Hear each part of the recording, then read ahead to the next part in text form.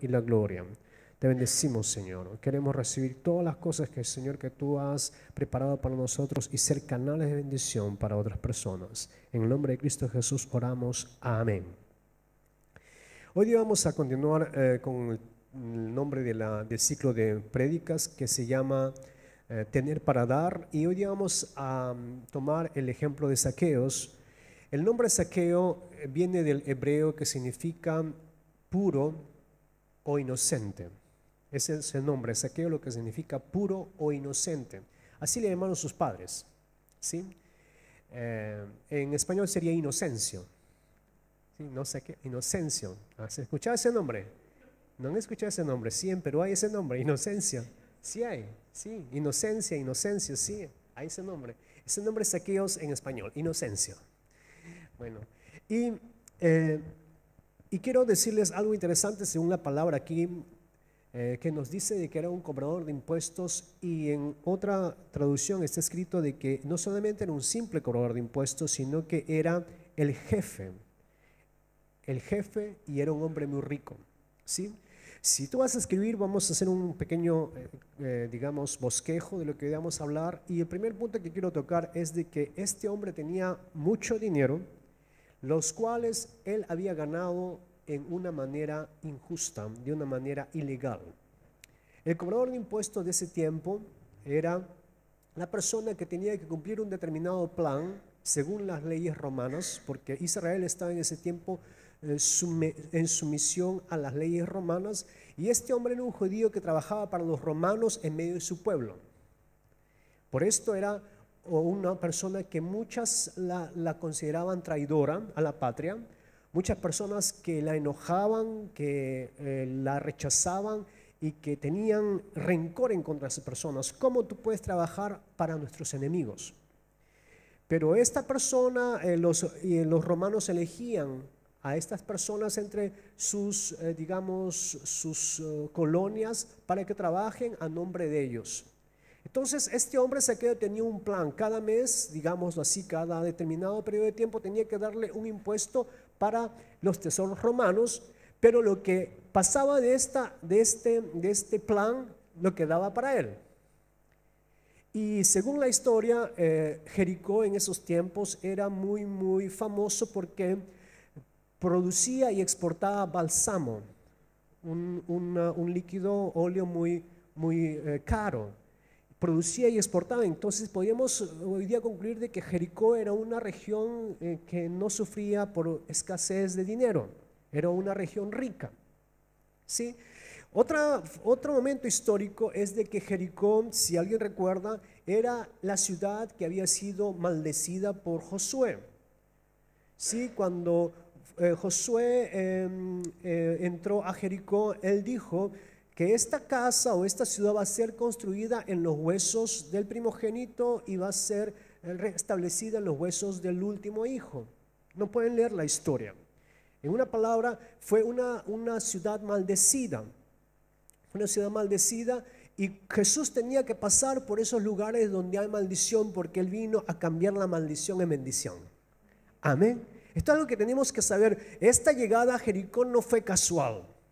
Él vino a buscar y a salvar lo perdido. El encuentro con Saqueo no fue algo casual. Él vino para buscarlo a él. ¿Sí? Volviendo al tema, este hombre tenía mucho dinero. Él tenía mucho dinero, un estatus, un estatus en la sociedad, pero él lo había conseguido de una manera ilegal. Y estas, unas semanas atrás había leído de una historia, de pronto ustedes también la han leído, de una mujer japonesa que la, tildaron la viuda negra.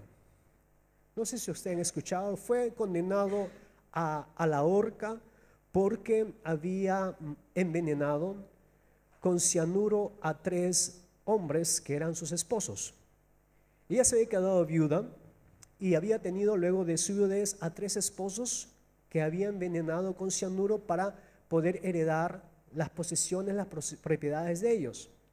Y ella especialmente buscaba en estas agencias de matrimonios, en estas agencias de bodas, a personas solas y con mucho dinero. Y cuando se casó la cuarta vez para poder nuevamente envenenar al, cuarto, al cuarto esposo, esta fue un envenenamiento sin éxito y el hombre la denunció. Y cuando comenzaron a hacer la búsqueda, las investigaciones, la hallaron culpable de tres crímenes. Y en el transcurso de más o menos diez y tantos años había acumulado una riqueza de cerca de nueve millones de dólares por esta, por este, con este camino. Se había enriquecido de una manera ilegal, de una manera eh, fatal.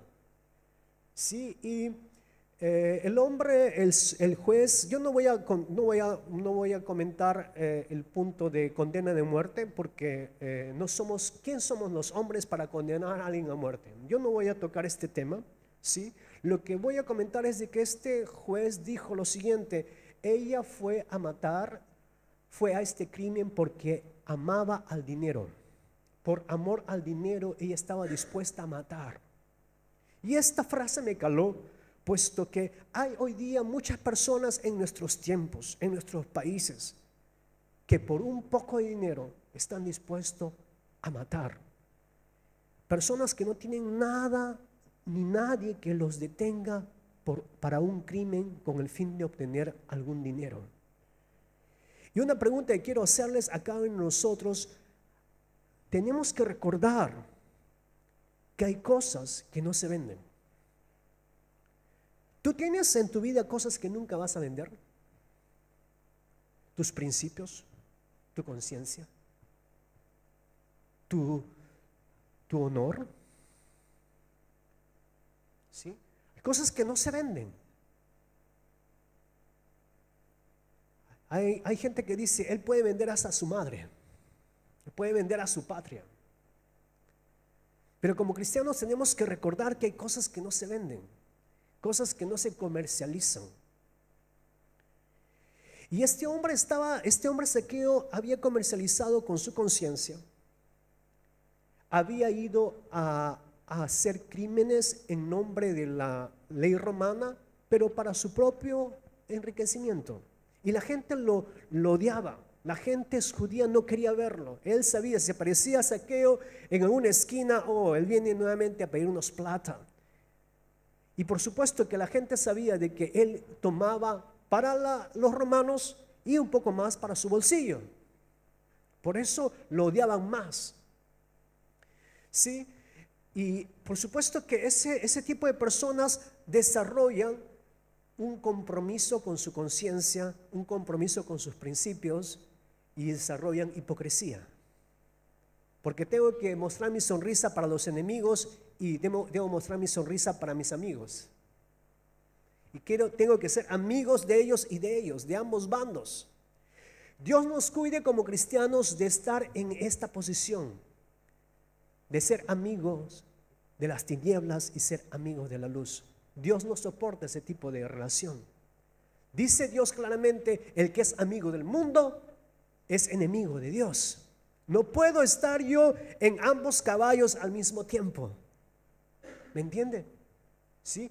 Y ahora tomando esta pregunta o este punto, él vino con estas riquezas, él tenía esas riquezas, pero Jesús entró y si se dan cuenta, él no predicó, él no dijo, qué mal persona eres saqueo. Tú eres, te has enriquecido de una manera ilegal. No le dice nada, sino su presencia derramaba santidad y derramaba mm, la presencia de Jesús, eh, le, derramaba una, le invitaba a que él piense en su vida. ¿Quién era él? Es algo interesante cuando tú estás en la presencia de Dios. con la presencia de Dios, tú sientes de que estás delante de su luz y que no puedes tapar nada porque Él lo sabe todo. Y algo interesante es una, una, una ley de la óptica. Cuando estás lejos de alguna cosa, de un objeto, te parece algo muy chiquito, como cuando estás en el avión. No es ahí los carritos, las casas. Pero es una, una ley de la óptica. No es que sean chiquititos, sino que tú estás lejos de ellos. Pero cuando te acercas y estás cerca de ellos, no es que ellos se hayan engrandecido, sino que tú estás cerca de ellos y por eso son muy grandes para ti. Así también lo mismo en nuestra relación con Dios. Cuando estamos lejos de Dios, no lo tomamos en cuenta.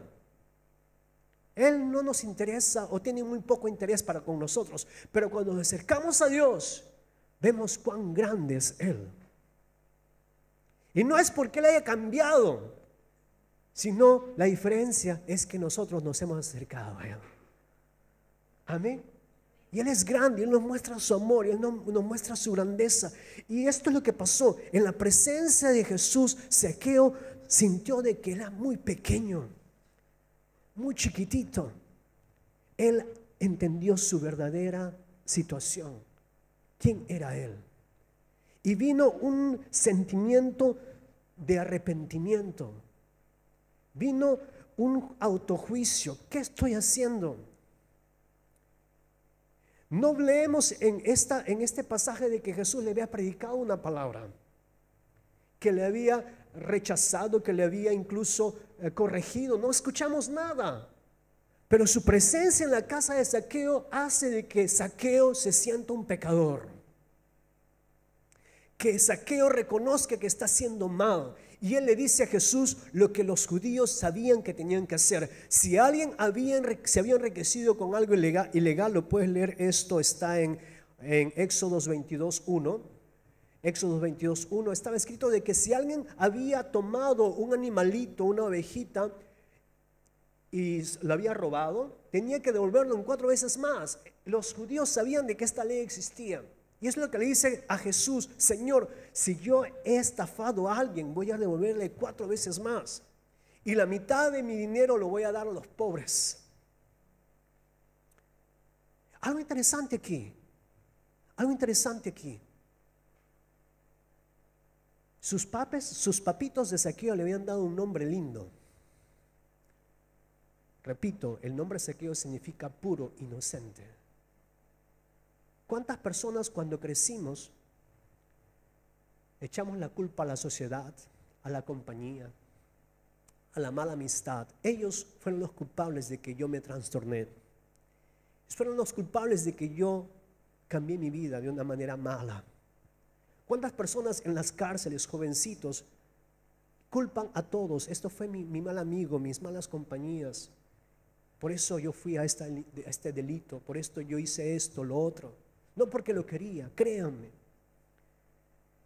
Y de pronto este saqueo estaba pensando, ¿cuántas cosas malas he hecho? Yo tenía un nombre lindo. Mira, hermano, hermana, Dios nos dio un nombre lindo.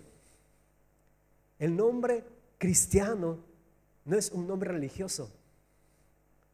El nombre cristiano, el nombre creyente, es un nombre de relación con Dios. Cristiano, el que sigue a Cristo. Cristiano el que tiene presencia de Cristo. Cristiano el que reproduce a Cristo. Amén. El que tiene el espíritu de Cristo. Hermano, hermana, en revelaciones el espíritu redarguye a una iglesia. La iglesia de Sardis. En la iglesia de Sardis le dice, tú tienes un nombre como si estuvieses vivo, pero la verdad es de que estás muerto. ¿Qué significa eso? Que a Dios no, no le importa tanto cómo nos llamamos, sino lo que somos. Saqueo, tienes un hombre lindo, pero no me importa ahora lo que tú estás, cómo, te llamas, sino lo que me preocupa es lo que has llegado a ser, lo que eres hoy día. Devuélvete, regrésate a tus principios. ¿Quién eres tú? Eso es lo que me preocupa. ¿Quién eres tú? ¿Cuál es tu naturaleza? Amén. Dios nos dio no solamente la potestad de llamarnos, sino de ser hijos de Dios. Es gran diferencia llamarnos y ser. Cuando tú vas a la Angólica vas a ver zapatillas Puma, Nike, Nike, pero que cuestan 200 grivnias o 300. Y tú sabes de que solamente se llaman, pero no son. ¿verdad? O en las pulgas, hay, también, ¿no? Eh, eh, mercados que se llaman las pulgas, ¿sí? Donde todo es baratísimo y tú sabes de que todo es imitación. Hermano, hermana, nosotros no tenemos No, no tenemos que ser una imitación, amén. Llamarnos y ser. Llamarnos cristianos, llamarnos creyentes y ser tales. Amén. Dios es bueno. Jesús le dice, hoy día ha llegado la salvación. Él le da una riqueza que Saqueo no tenía. Saqueo tenía riqueza material, Saqueo tenía mucha plata, pero Jesús viene a su casa y le da lo que es imposible comprar con dinero. Él le da paz y salvación a su alma. Amén. Amén. Dios es bueno. El segundo punto que quería tocar esta noche es que Saqueo tenía un complejo de inferioridad. Por alguna razón la palabra dice de que era chiquito de estatura. Eh, yo quiero levantar este punto porque muchos de nosotros, si no decirlos todos, tenemos eh, alguna batalla con un complejo, sobre todo por nuestra niñez. ¿Qué nos decían en la escuela? ¿Cuál era tu apodo? Bueno, te voy a decir cuál era mi apodo, pero lo vas a ver. Cuando era chiquito, pues, eh, mis ah, amiguitos me decían, ¡Ey, el Pinocho! Por una, tenías una nariz grande. Y yo me acuerdo de que cuando llegué a ser adolescente, yo me ponía delante del espejo y yo pensaba de que mi nariz era la más grande en toda la ciudad. Y yo pensaba, si mis padres no hubiesen sido de la descendencia inca, entonces la nariz puede ser de otra. bueno, es una broma. Pero yo decía, ¿por qué tengo esta nariz tan grande? Yo pensaba y me, azotaba en mis pensamientos, pensando de que yo nunca voy a casarme con una mujer bonita. Y ya me resignaba, pues. si casarme, bueno, debe ser con... Pero Dios tuvo misericordia de mí. me regaló una mujer muy bonita. Y después de que me atacaron, pues me sacaron la curva de mi nariz. Y mi esposa me dice, yo tengo, yo te extraño cuando tenías esa nariz como antes. ¿eh? Sin curva ahora estoy. Pero eso fue luego, después de un ataque. Bueno, los ucranianos lo bendecimos, los ucranianos me hicieron una operación gratis.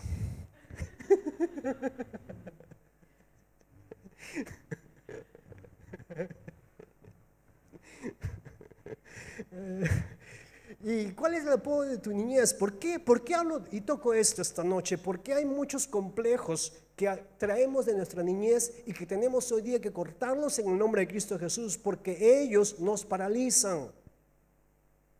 O eres muy grande, parece una jirafa. O eres muy chiquito, parece una pulga. O eres esas orejas, orejas grandotas, pareces un elefante. Oh, fíjate esos ojos como la de la vaca. Grandotes. ¿Y cómo te decían? ¿Y qué es lo que te paraliza hoy? Lo que, lo que, te, lo que te mm, molesta para recibir tal como eres. ¿Qué es lo que nos libera de eso? De una baja estima, de los complejos que nos pueden eh, que podemos jalarlos desde la infancia. ¿Qué es lo que nos libera de eso? Primero, hermana, hermana, yo creo la presencia de Jesús. Porque en su presencia Jesús te va a decir quién eres tú para Él. Y cuando tú comienzas a escuchar quién eres tú para Jesús, te va a importar un pepino lo que las otras personas van a pensar de ti.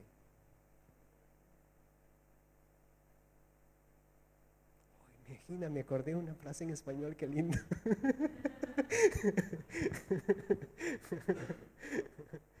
Lo que Jesús va a comenzar a decirte, esta palabra te va a liberar porque tú vas a comenzar a recibir quién eres tú para Jesús. Esta palabra te va a liberar, estas revelaciones te van a liberar quién eres tú para Él. Aleluya, amén.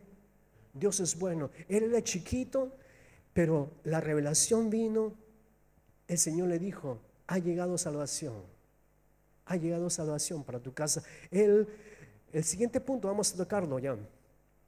Gracias Jesús.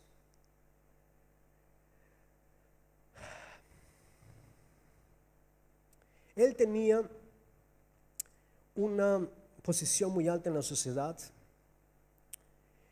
pero él dejó esta posición para subirse en este sicómoro. Él tenía una posición alta en la sociedad, pero dejó esto para levantarse y correr y moverse en un sicómoro. ¿Qué significa esto, hermano, hermano? Mira, cuando una persona tiene poder, hablo eh, de dinero y de posición en la sociedad, eh, a veces las personas nos ponemos muy, muy complicadas. Perdemos el acceso con las personas y yo pienso de que como el centurión lo hizo, él hubiese enviado una delegación delante de Jesús diciéndole, mira, tengo mi siervo que está enfermo, ven y sánalo. En este caso, eh, Saqueos puede haber dicho, mira Jesús, yo quiero conversar contigo personalmente. Le hubiese enviado una delegación, porque es una persona con un estatus. Esta persona lo conocen en la ciudad. no es una persona simple. Pero esta persona, Saqueos, por este motivo de que él corrió y se subió a un sicómoro, ¿pueden imaginarse de eso? Un hombre con, reconocido, conocido en la sociedad, corre y se levanta este sicómoro. Esto me habla de que este hombre no había perdido simplicidad. Y este hombre decide pasar sobre las tijeras que hoy día detienen a muchos hombres y mujeres de Dios. ¿Cómo se llaman esas tijeras? ¿Qué dirán de mí? ¿Sabes de que justamente esta frase, ¿qué dirán de mí? son tijeras que han cortado las alas a muchos varones y mujeres de Dios? ¿Qué dirán de mí? ¿Qué es la opinión de la gente? ¿Qué es la opinión de la sociedad? Si tú estudias y analizas la vida de, de, las personas que están escritas como eres en la Biblia, justamente fueron personas que recibieron este reto. Esta opinión no me va a detener. Gedeón decía, yo soy el más chiquito en mi, en mi tribu y mi tribu es la más chiquita en todo Israel. Señor dice, Vas a ir con esta fuerza y vas a vencer. Personas que se levantan como de las cenizas, de ser de un don nadie, y el Señor comience a hacer a través de ellos sus grandes obras y lleguen a ser héroes de Dios. Hermanos, hermanas, ¿cuántas personas van a intentarte detenerte? Mira quién eres tú, mira tu apariencia, mira qué dirán de ti. Si comienzas a predicar, si comienzas a hablar de Dios, si comienzas a hacer estas cosas, ¿qué dirán de ti?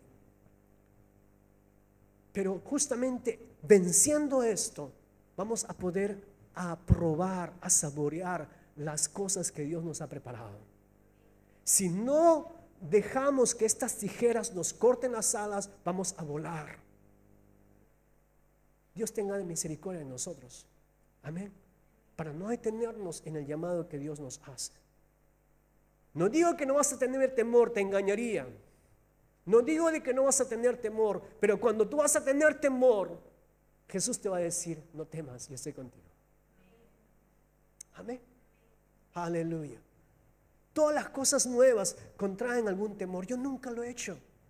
María, yo nunca he tenido un hijito. Incluso yo nunca he tenido una relación sexual. ¿Cómo es eso ser mamá? Pero que sea según tu palabra, le dice al ángel Gabriel. ¿Sí? ¿Lo escuchan?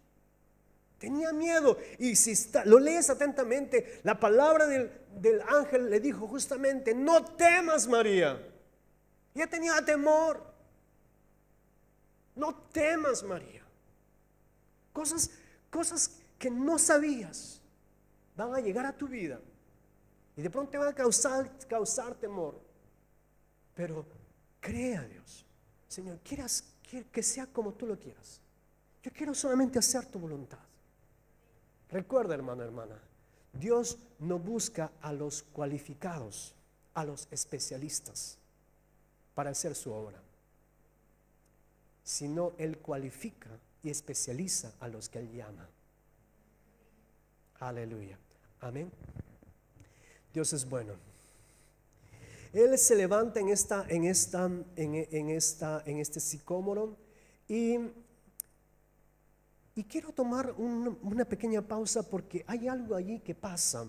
Jesús se detiene delante de este sicómoro y lo ve a Saqueo este, sobre este sicómoro. Y los ojos de ellos se, se encuentran y Jesús se detiene. Y la verdad es que es algo que, que no me deja eh, tranquilo. ¿Por qué Jesús se detiene? Para hablar con saqueo. En nuestros tiempos, tantas personas están ocupadas que no tenemos tiempo para detenernos y conversar con alguien. Y tenemos que aprender de Jesús. Jesús se detuvo y le dio unas cuantas palabras. Después un encuentro con él en su casa y su vida cambió. Unos cuantos minutos de la atención, unos cuantos minutos de su atención. Hermano, hermana, no podemos, no podemos darnos el lujo de estar demasiado ocupados para la gente si queremos alcanzar a alguien en el nombre de Jesús. Tenemos que detenernos como Jesús lo hizo, detenerse y verlos de ojo a ojo, cara a cara. Y cuando ellos se encuentran, algo ocurrió. Él le dice, saqueo, baja, porque hoy día quiero estar en tu casa. Y el Señor me reveló algo aquí interesante, dos cosas. Primero, cuando tú encuentras a Jesús, Jesús te va a decir, bájate. Baja de tu posición. Bájate de tus humos levantados. Porque yo solamente puedo tener relación con las personas que no me miran de arriba abajo, sino de abajo arriba. Una condición para venir a Dios es humildad. Yo no puedo conversar contigo saqueo así como estamos conversando. Tienes que bajar. Y ahí comienza la relación personal cuando tú entiendes quién es Él y quién eres tú. A los humildes Él les da la gracia, pero Él se enfrenta a los soberbios. Amén. Es lo primero, baja y voy a construir una relación contigo. Y lo segundo, el Señor me mostró en este pasaje, fue algo muy interesante que también me impactó. Lo segundo fue de que este árbol era un prototipo de la cruz. Y como cuando él le dijo, saqueo, bájate, le estaba diciendo, saqueo, bájate porque no es tu lugar estar arriba en el árbol, en el madero, sino es mi lugar estar en tu lugar. es, eh, no, no, no hagas las cosas prematuras a saqueo. Es yo quien voy a estar sobre el madero, levantado de la faz de la tierra, para salvarte a ti y a los que creen en mí. Amén. Jesús se levantó entre cielos y tierra, aproximadamente tres metros. Y él vio a la gente justamente así, como a la altura del sicómoro. A toda la gente. Por ustedes lo voy a hacer. Por ustedes lo estoy haciendo. Amén. Aleluya. Dios es bueno. Aleluya. Siguiente punto que quiero tocar esta noche era de que él tenía una casa muy cómoda, muy linda, muy grande. Y dice aquí la palabra de que él recibió a Jesús con alegría. Recibió a Jesús con alegría, ¿sí? Se escribe también en la Biblia de ustedes así. Él recibió a Jesús con alegría.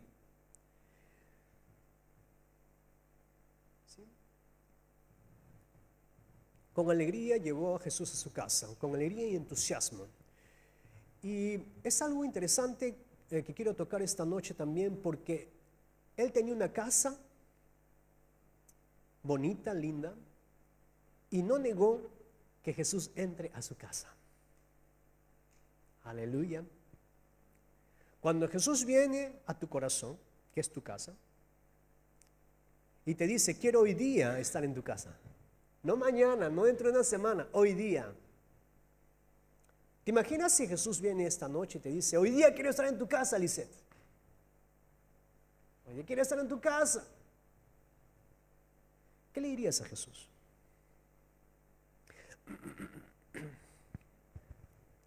Señor, con alegría, pero dentro de tres horitas, yo voy a limpiar lo que no es necesario que tú veas.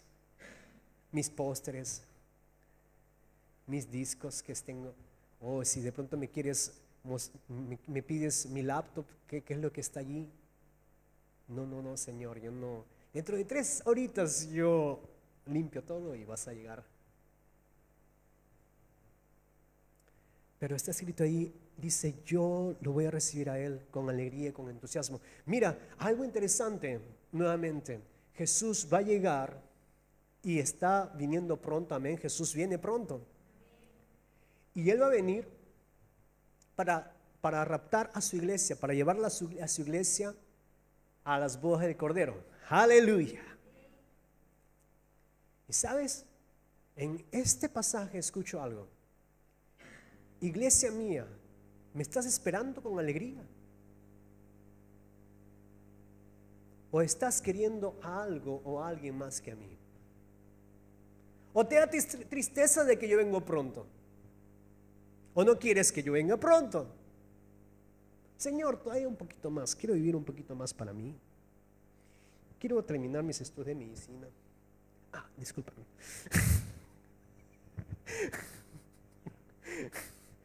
poquito, Señor. Retrasa tus planes.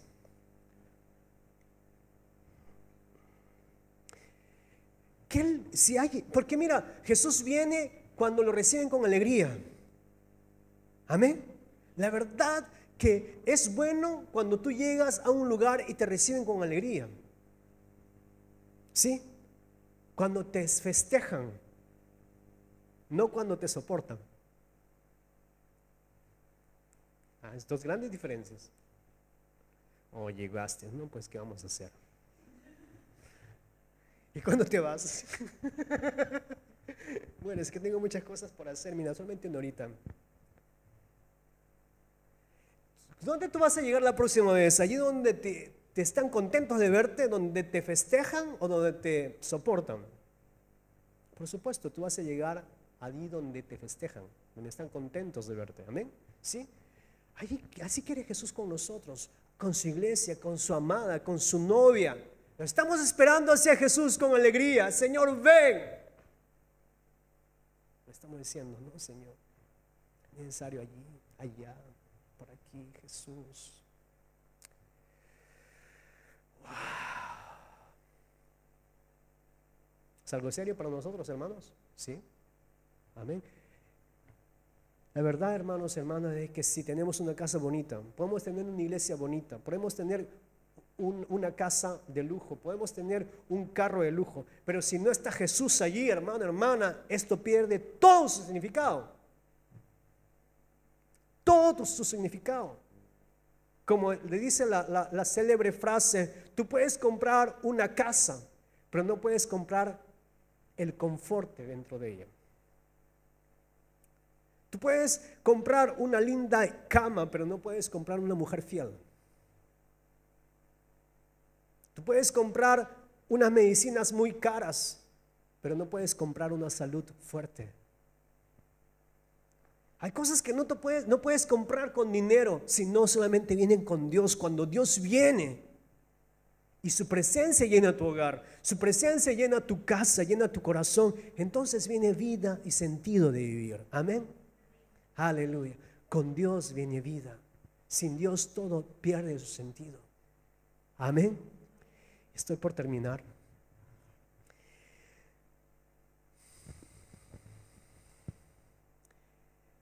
Saqueo tenía muchos enemigos. Saqueo tenía muchas personas que lo envidiaban. Y está escrito aquí de que nadie estuvo alegre de que él entró a la casa de Saqueo.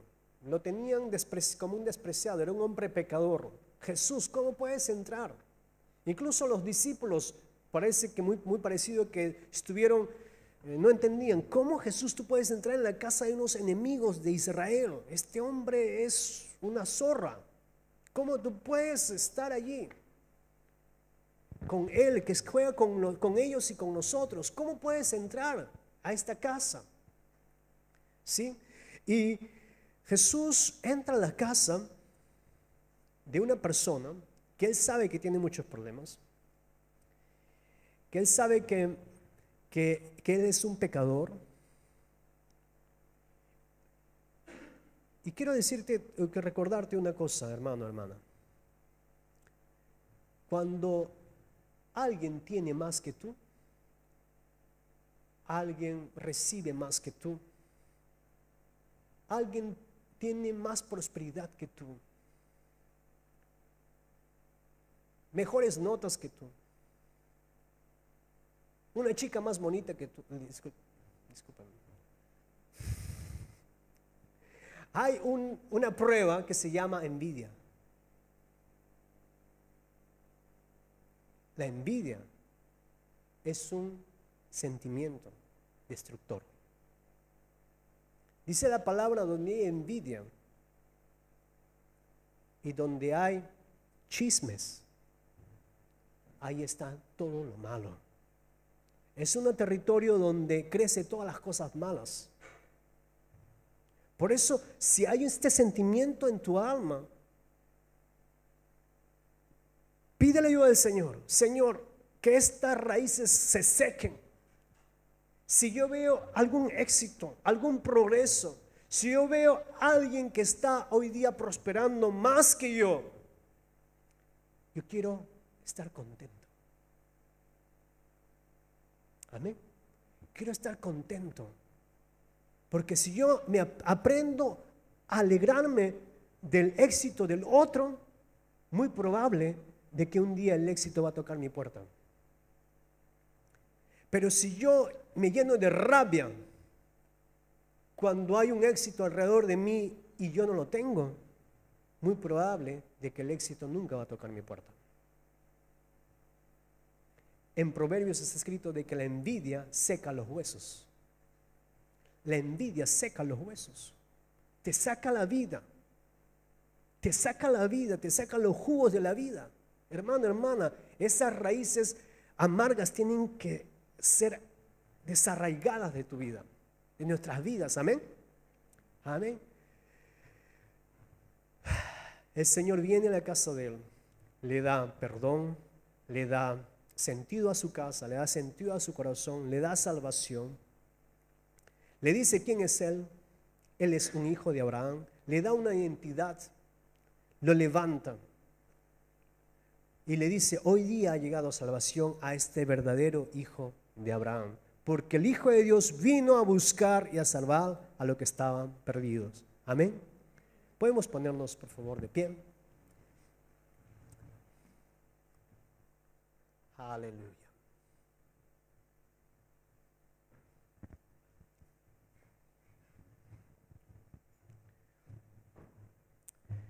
Gracias Jesús. Te bendecimos esta noche, Padre. Damos gracias porque tú llegaste a nuestras vidas. Tú un día nos mostraste el camino de la vida. Gracias te damos, Señor. Gracias te damos, Señor. Gracias te damos, Jesús. Gracias te damos, Jesús. Gracias te damos, Jesús. Gracias te damos, Jesús. Gracias te damos, Jesús. Aleluya. Aleluya.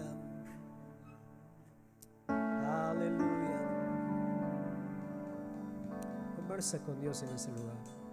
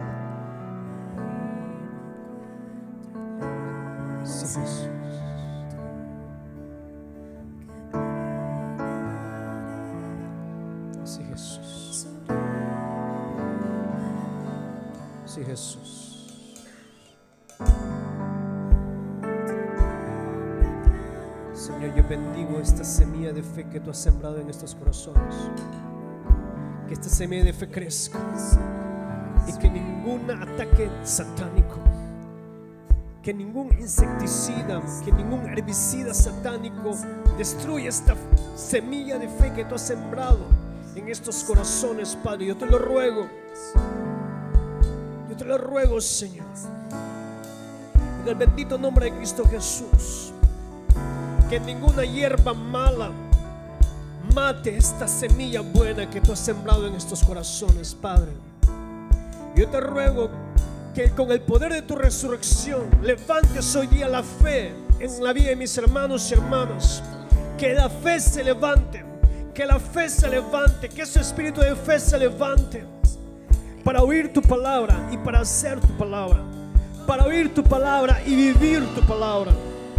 Vivir tu palabra, Señor. Sí,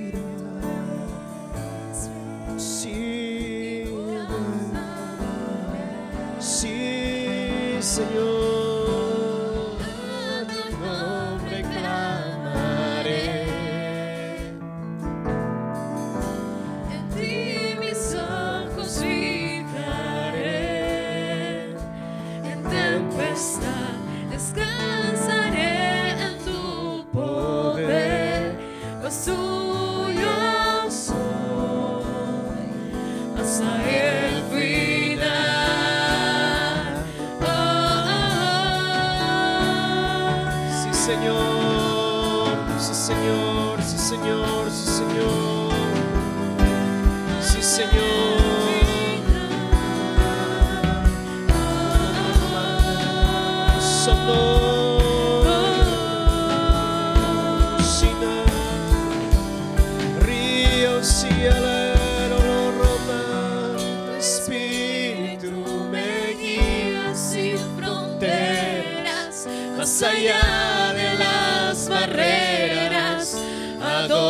Donde tú me llames, tú me llevas más allá de lo soñado, donde puedo estar confiado al estar en tu presencia. Que tu espíritu me guía sin fronteras, más allá me llames, que me guías más allá de lo soñado, donde puedo estar confiado al estar en tu presencia. Sí, Señor, sí, Señor. Sí, Señor, sí, Señor, sí, Señor. Donde tú me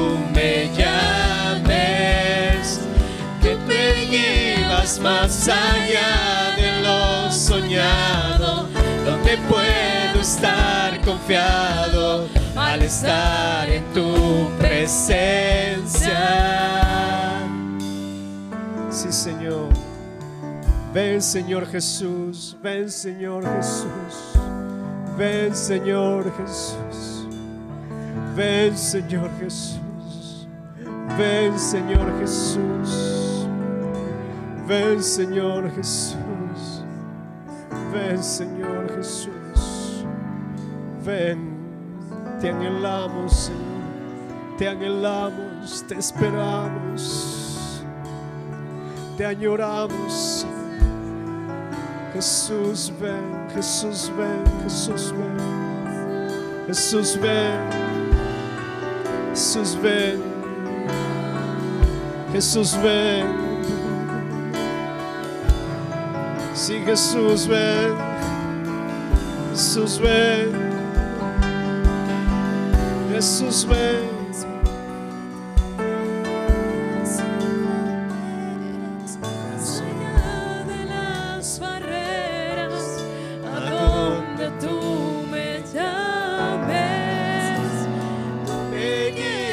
Más allá de lo soñado, donde puedo estar confiado, al estar en tu presencia.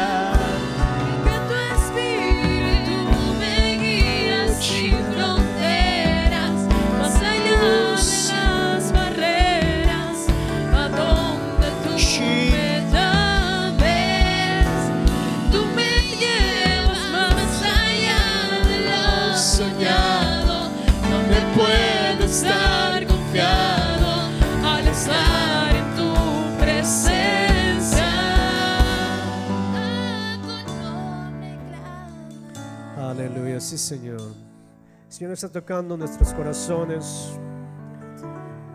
Y Él quiere entrar en tu corazón como un día en la casa de Saqueo. Y en su presencia tu vida cambiará. Cuando Jesús entra a tu casa,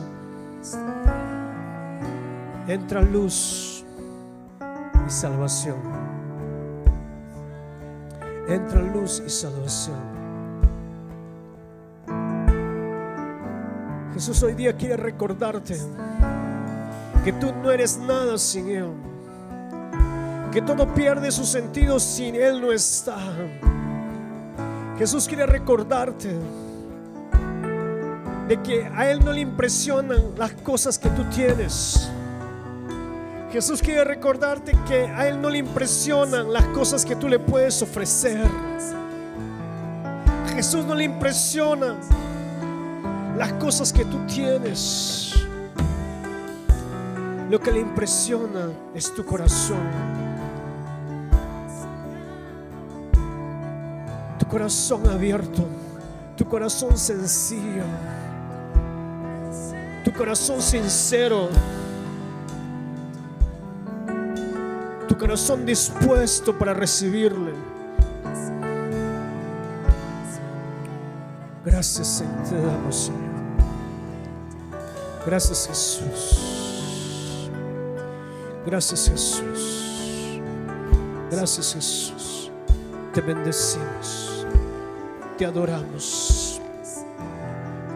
Nadie hay como tú. Nadie hay como tú. Toda la gloria y toda la honra sea para ti, Señor. En el nombre de Cristo Jesús oramos. Amén.